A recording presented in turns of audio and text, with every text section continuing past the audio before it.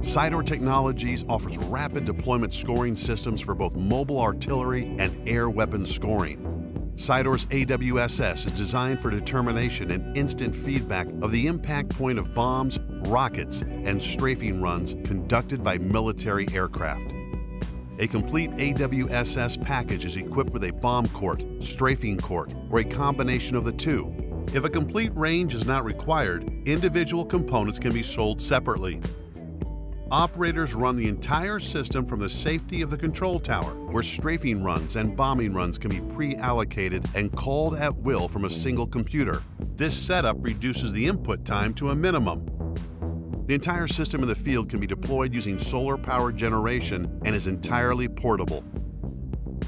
Strafing runs are detected within the target area by a set of sensor arrays that detect the position of the projectiles by their acoustic shock waves the acoustic sensors catch the supersonic profile of the incoming projectile and triangulate its position, concurrent with tracing the event. The data collected by the strafing system is wirelessly transmitted back to the control tower and scored accurately onto a target plane using acoustic sensor technology. Bomb locations are determined optically by image processing of the impact splashes. This is done by a pair of cameras set at a safe distance from the impact scoring arena. Seen here is a trailer system with a camera mounted at the top of the mast.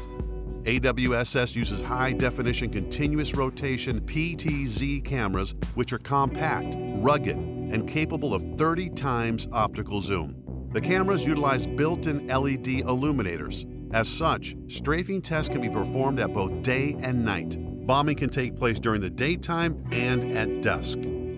During testing, specially designed image processing software detects and triangulates the impact points, outputting their GPS coordinates. Both live rounds and practice rounds with smoke or ground burst indicators can be detected.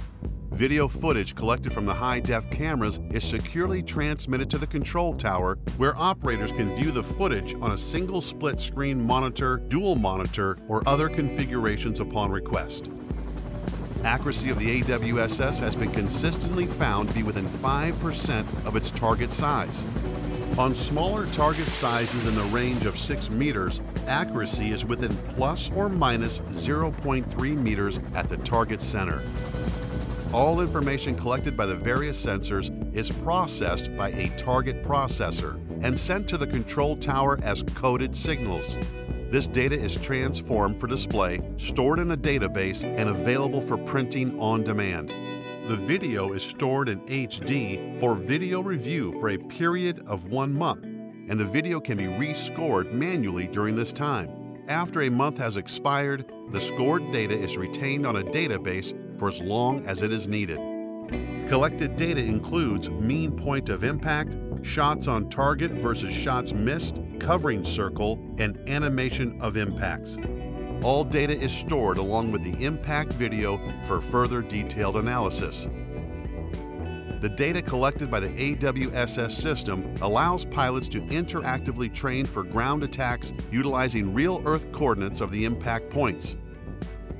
Our experts will help you make your scoring system concept become a reality.